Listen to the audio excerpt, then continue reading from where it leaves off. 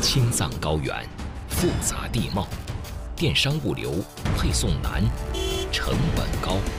看西藏物流团队怎样用物流科技在西藏实现当日达、次日达，又如何通过数字技术让雪域特产走出高原，行销全国？山下注意观察。创新进行时，即将播出。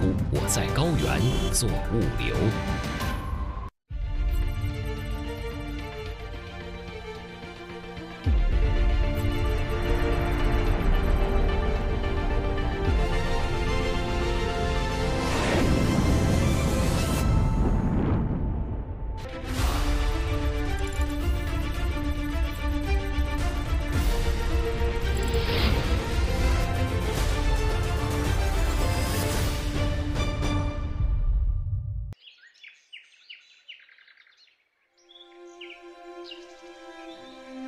这里是西藏自治区波密县义贡乡。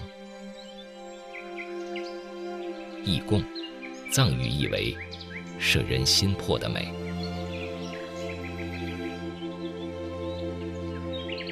深山峡谷之中，坐落着中国海拔最高的茶厂。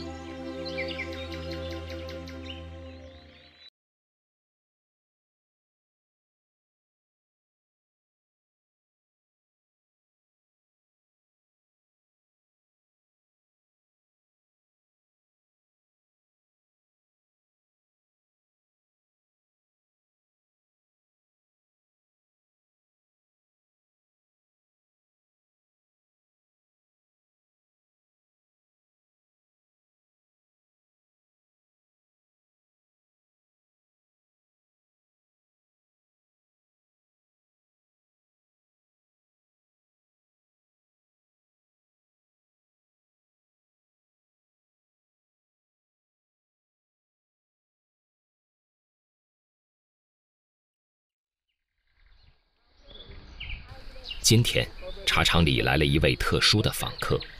哦，对对对，这样哈。哦，你看你这个叶子，我能尝尝吗？可以，你看，像这个就可以，还有一点微甜。是是是是。王磊是一家物流企业在西藏地区的技术负责人。此行的目的是调研这里的茶叶。从事物流行业的王磊，为什么要调研茶厂呢？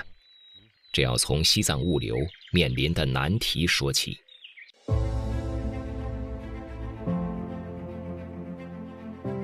我把货送到某一地，我还能把相应的货再拉出来。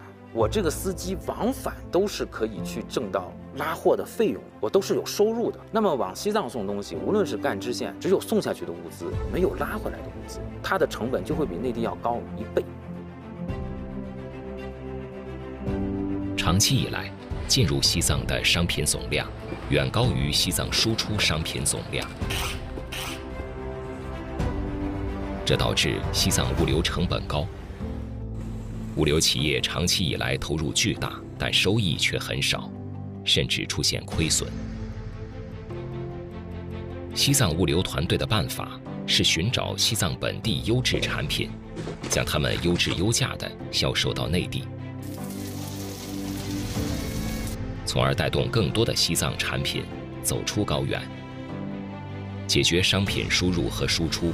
不平衡的难题。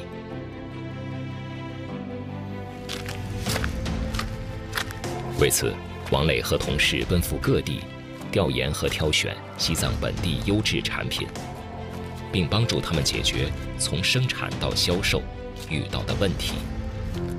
这就是王磊前往波密的原因。这个大概有多重？这二百三十克。二百三十克。对。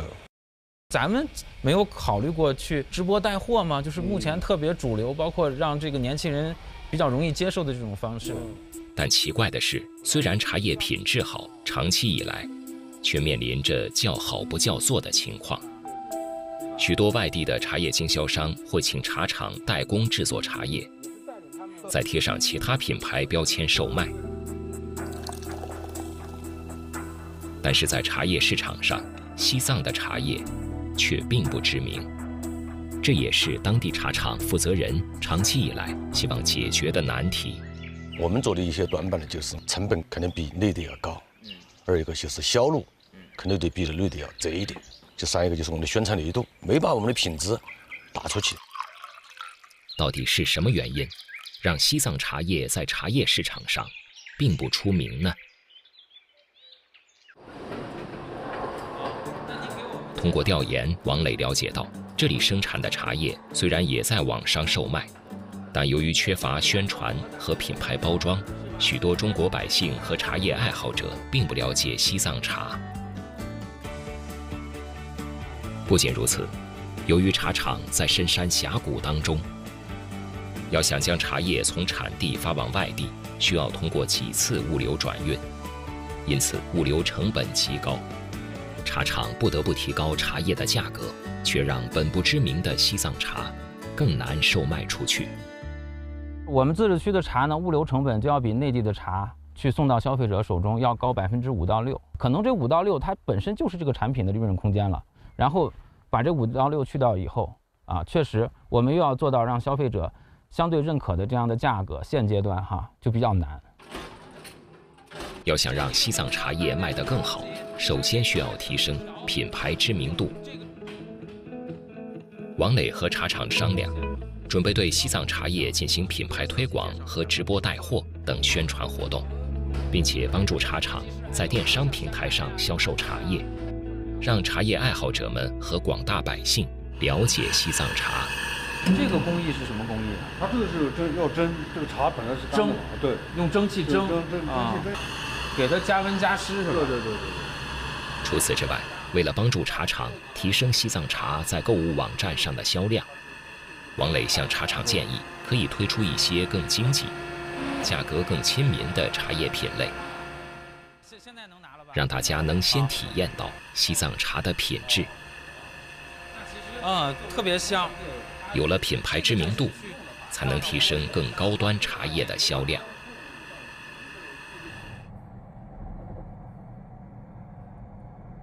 其实，西藏本地的许多农特产品都存在着品质好但却缺少品牌影响力的问题。有的优质产品甚至没有品牌，比如西藏的松茸。正值松茸采摘季，王磊和同事决定去松茸产地进行实地调研。工布江达县，全国海拔最高的。松茸产区之一，加措和卓玛是当地的松茸采摘户。每年这个季节，是他们最忙碌的时候。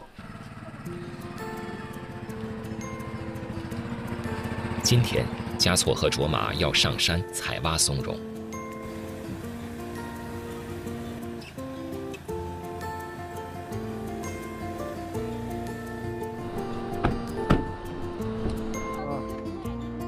我们今天过来呢，就是想看看咱们这个野生松茸它的成长和这个采摘的这个环境。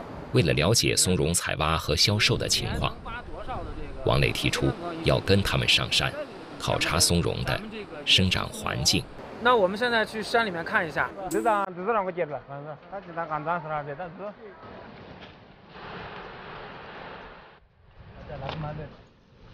咱们这个树林里面有野兽吗？有的，这东大的这有的，有狗熊啊。嗯。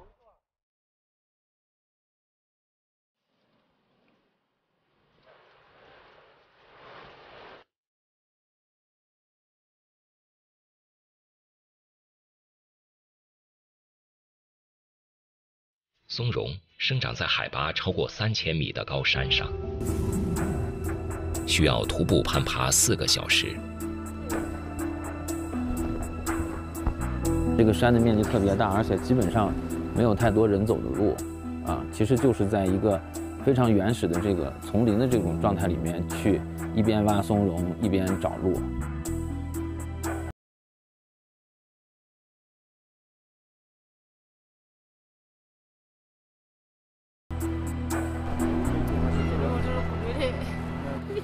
对嘞，高吗？这棵好大，有个样子吧？这个大概有多重？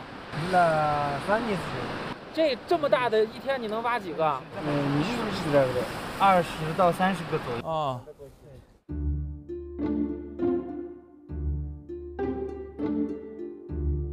采松茸是一件非常辛苦的事情，有时候上百米的山路只能找到一棵松茸。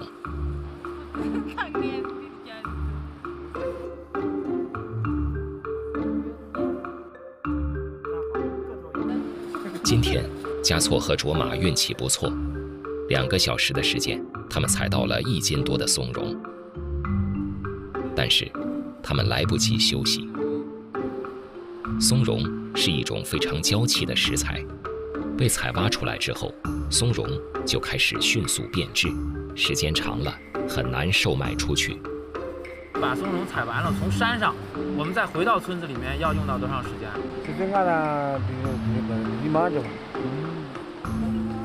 而松茸的价格很大程度是根据松茸的新鲜程度来定的。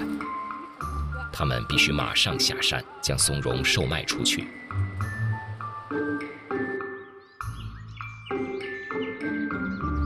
今天松茸多不？看一下，看一下。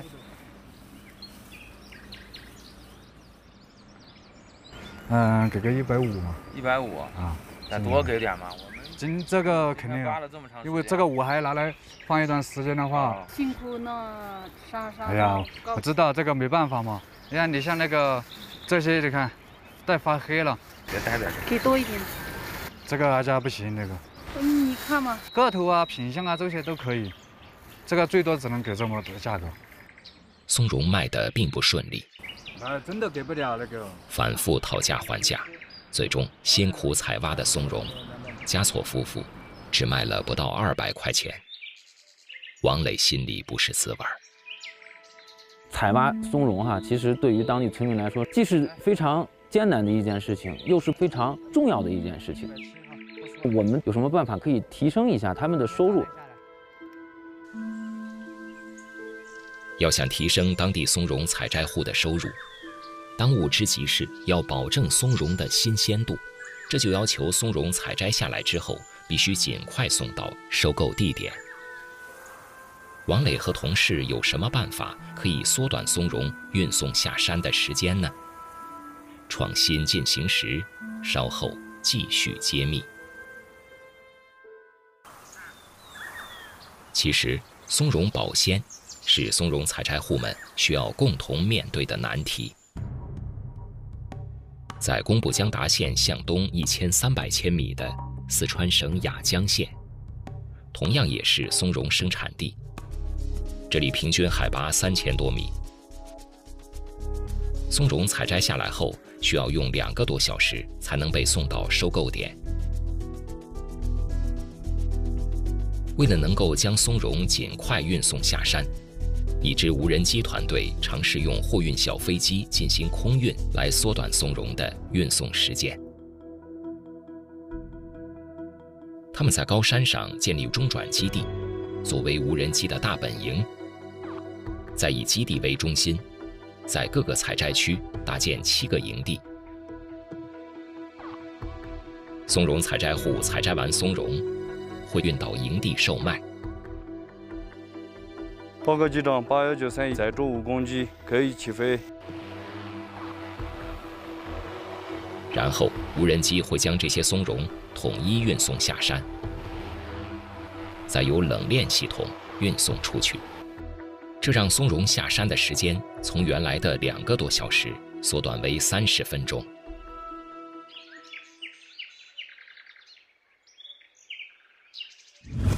那么，在西藏工布江达县的松茸产区，是否可以用无人机运输的方式，帮助当地的松茸采摘户实现松茸的快速运输呢？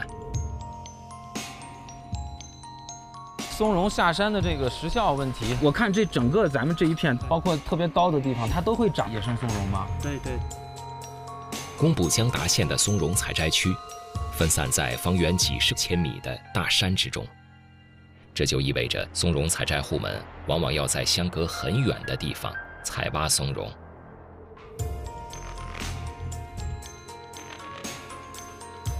如果要用无人机进行运输，需要建立一系列配套的设施，并且在高山上选择平坦的地方建立无人机基地和采摘营地。好，起飞了，无人机起飞了。山下注意观察，山下注意观察。山下收到，收到。能看到，现在能看到降落点吗？呃，还有一段距离，还有一段距离。西藏的松茸产区普遍比四川雅江县的松茸产区海拔更高，山势也更为陡峭。要想在山区中找到一块地势相对平缓的地方，建造可以供无人机起降的营地，非常困难。在成本上，这也并不划算。备，五十米准备。三下收到，三下收到。它可能更多的不是技术实现的角度，而是周边是否具备这样的条件，包括作业模式未来怎么市场化的问题。经过调研，物流团队否定了这个方案。除了无人机，是否还有其他方式能够帮助松茸采摘户缩短运输松茸的时间呢？根据当地的环境特点和百姓能够掌握的技术，王磊有一些新的想法。比如说溜索的方式啊，在我们内地的一些呃山区，我们也可以见到的这种就是从山上往下运东西的方式，其实非常简单。啊，它的成本就是几个电线杆子或者是基站，就是把它架起来，然后中间有一个索道。啊，而且它这个松茸下山，它只有下没有上。啊，基本上就可以利用我们叫重力或者说地势的差啊，就把这个松茸送下来了。但这一次来到工部江达县，王磊要解决的不仅仅是运送松茸的技术问题，有一个更严重的问题困扰着王磊。工部江达县的松茸生长在高寒高海拔，而且无污染的环境中，品质良好。但在市场上，公布江达县的松茸销售价格却并不理想。为什么会出现质价不符的情况呢？工部江达的这个松茸收购季的时候，有大量的内地松茸运上来，充斥到工部江达市场，扰乱了松茸的市场秩序。说句俗话，叫以次充好的又冒充工部江达的松茸，又卖给了内地市场。怎么样才能够提升西藏松茸的品牌，让西藏松茸能够以更好的价钱卖出去呢？创新进行时，稍后继续揭秘。为了提升西藏松茸的品牌影响力，王磊想给西藏松茸打上品牌标签。在这个品牌标签当中，要展现出西藏松茸不同于其他产区松茸的特点。但是，这是一件非常困难的事情。不同地区出产的松茸，仅从外形和个头上，难以进行区分。这也让许多消费者无法认准哪些松茸是西藏松茸。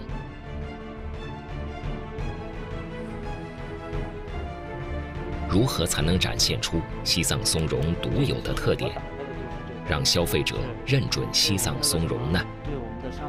创新进行时。我在高原做物流，下集继续揭秘。